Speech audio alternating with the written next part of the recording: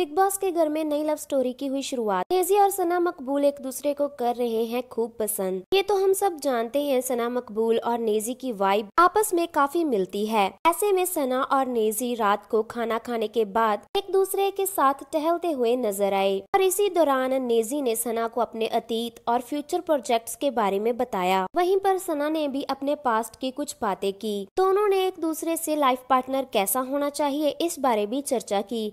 और नेजी ने तो बातों बातों में कह दिया कि मुझे सना मकबूल जैसा लाइफ पार्टनर चाहिए, जो कि लविंग हो केयरिंग हो और सच का साथ दे। और मुझे तुम्हारा नेचर बहुत अच्छा लगता है। वहीं पर शिवानी भी ये कहने को मजबूर हो गई कि न्यू लव स्टोरी की शुरुआत हो चुकी है। दूसरी और घर वालों से ये भी पता चला कि शिवानी के सर में जुए हैं और मनीषा इस बात को बहुत बड़ा मुद्दा बना रही थी। लेकिन सना मकबूल ने मनीषा को कहा कि देखो वो गाँव से है और जुए सर में होना कोई बहुत बड़ी बात नहीं है।